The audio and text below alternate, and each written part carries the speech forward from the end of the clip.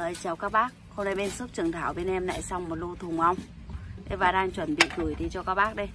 Để Tiện em làm luôn một cái video để gửi tới các bác trên mọi miền Tổ quốc Các bác nuôi ong mật.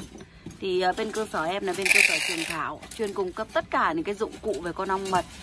Thì uh, với thùng và cầu như bên em đang chuẩn bị đây nhá Cầu căng cầu.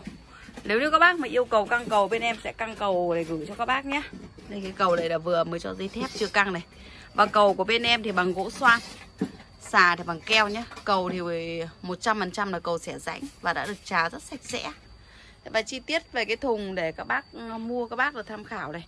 Thì bên cơ sở em chuyên cung cấp và ship cả nước nhé với mỗi một cái thùng như thế này thì bên em sẽ gửi đi mọi miền tổ quốc. Các bác ở đâu chỉ cần để lại địa chỉ và để lại số điện thoại thôi.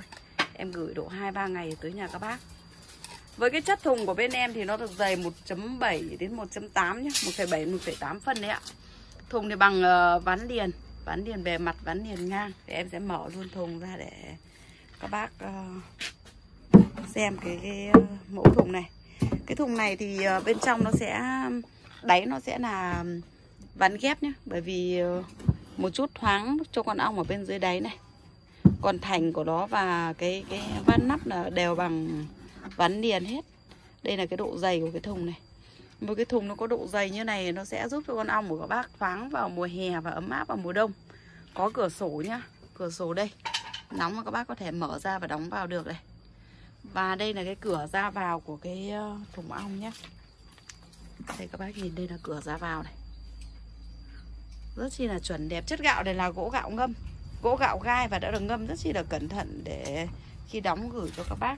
Và mỗi một kiện hàng như này, đây như hôm nay em đóng số lượng rất chi là nhiều và một bác mua 20 chiếc. Em đã đóng rất chi là cẩn thận như này. Thế qua cái video ngắn này mà các bác ở đâu trên mọi miền tổ quốc mà nuôi ong mà đang cần tới những cái dụng cụ nuôi ong thì hãy liên hệ trực tiếp tới bên em nhé. Qua đầu số điện thoại là 0869 054 295 đấy là số điện thoại chính của bên em chuyên cung cấp tất cả những cái dụng cụ về con ong mật. Đấy, thùng cầu và những cái vật tư nhỏ. Thì cái video ngắn này thì em chỉ nói về thùng và cầu thôi để các bác mà quan tâm tới những cái dụng cụ gì liên quan bên em đều đầy đủ hết nhé Thùng thì rất chi là chuẩn đẹp. Các bác alo hoặc là vào Zalo của em Để à, tham khảo xem tất cả những cái dụng cụ Như là những cái vật tư ngành ong. Thùng thì các bác sẽ nhận được cái rẽ y như thế này nhá. Và bên em đóng gói rất chi là cẩn thận này. Cũng rất nhiều bác ở trong miền Nam Những bác ở Cà Mau, Cần Thơ à, tất cả các bác trên cả nước các bác nuôi ong mà đang cần tới những cái dụng cụ gì thì hãy liên hệ trực tiếp tới bên em. Thế và khi các bác mà xem video mà đang tham khảo về đồ nuôi ong lội thì đừng quên ấn like chuông đăng ký kênh nhé. Các bác đăng ký kênh để mỗi lần em sẽ đăng tải một cái dụng cụ về ngành ong những cái dụng cụ hay các bác sẽ nhận được những cái thông báo để tham khảo nhé.